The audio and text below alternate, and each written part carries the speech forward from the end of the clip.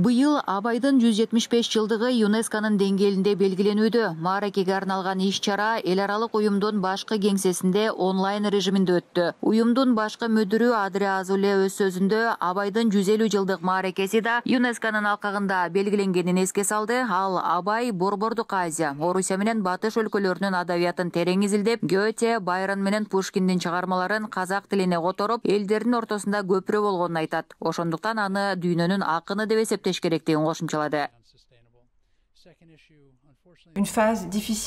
бүткүл дүйнө оор мезгилди башынан кечирип санитардык социалдык агартуу жана маданият сыяктуу көптөгөн тармактар каатчылыкка учураган убакта абайдын кайрылуусу абдан актуалдуу болуп турат катаал жана карлуу кыштан кийин жердин бети жаркыраган жаз гүлүндөй кулпураар деп айтканы бар биз ушул кыштын аяктоосуна даяр болушубуз керек абай өмүр бою тынчтык менен адамгерчиликке чакырып келген юнеско менен казакстан республикасы биргеликте бул милдеттенмени ар намыс менен аткарып жатат